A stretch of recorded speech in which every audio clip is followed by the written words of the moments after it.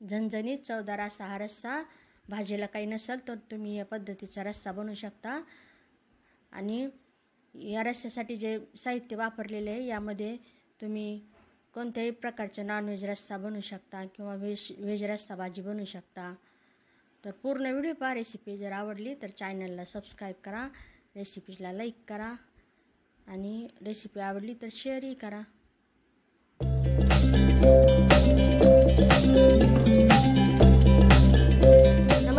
मी अर्चना गावाकडच्या रेसिपी या चॅनलवर तुमचं स्वागत.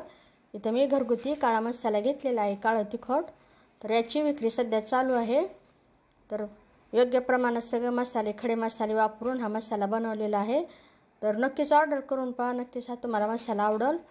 तर आजच्या रस्सा भाजीसाठी मी सुक्या खोबऱ्याचा वापर करणार नाही कारण या जो घरगुती मसाला यामध्ये सुक्या खोबऱ्याचा योग्य प्रमाणात असा वापर केलेला आहे. त्यामुळे गरज पडत नाही वेगळं असं खोबरं वापरायची. इथं मी कांदा असा फोडून गॅसच्या शेगडीवर आचीवर भाजून घेतलेला आहे. सगळं साहित्य तुमच्या प्रमाणानुसार घ्यायचं. तुम्हाला कसं बनवायचं? कोथिंबीर घेतलेली आहे. लसूण घेतलेलं आहे. जास्त लसणाच्या पाकळ्या घेतलेल्या कारण गावरान लसूण आहे. तुमचं जर पांढरं लसूण असेल तर मग तो कमीच वापरायचा. कारण जास्त वापरला तर उग्र असा वास येतो.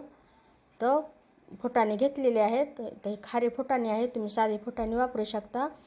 तर हमखास गावकडे याच पद्धतीचं वाटण बनवलं जातं नॉनव्हेज रश्श्यासाठी तर पूर्ण व्हिडिओ पहा आणि नक्कीच हा रस्सा एकदा बनवून पहा. भाजीला काही नसल किंवा सुचत नसल भाजी काय बनवावी रस्सा भाजी खायची असेल तर मिक्सरमध्ये फुटाने बारीक करून घ्यायचे. तिथं कांदा भाजलेला आता अगोदर सुक्का असं मिक्सरला बारीक करायचं आणि गरजेनुसार पाणी टाकून नंतर बारीक असं वाटण करून घ्यायचं. कोथिंबीर आणि लसूण अद्रकी टाकू शकता त्याचं वाटण करून घ्यायचं.